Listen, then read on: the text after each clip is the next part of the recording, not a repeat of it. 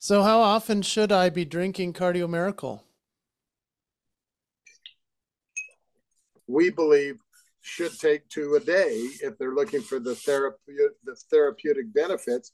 If they're looking just for some maintenance or it's kind of like a multiple vitamin, you know, they could take one serving a day, which would be two of these small scoops, uh, or one of our stick packs. So um, we had uh, people all the time who call and say, "Well, this isn't helping my my uh, blood pressure, or this isn't helping as much as this, or whatever.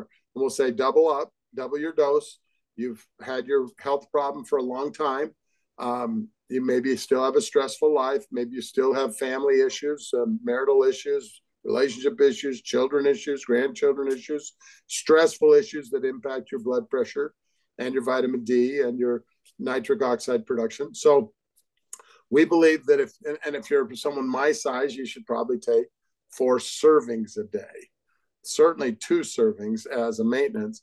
But if you're a 110 pound ballerina and you're not doing ballet anymore and you don't need the extra energy, you could probably get by with one serving a day and, and be fine and, and, and get better. Anything's better than nothing.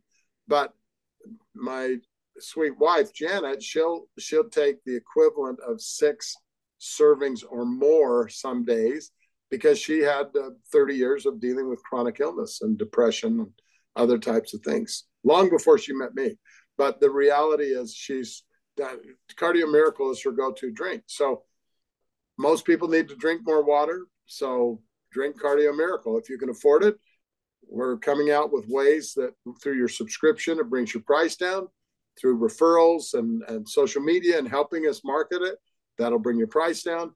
So again, we think it's such a good investment for health that you should drink it as often as you would like.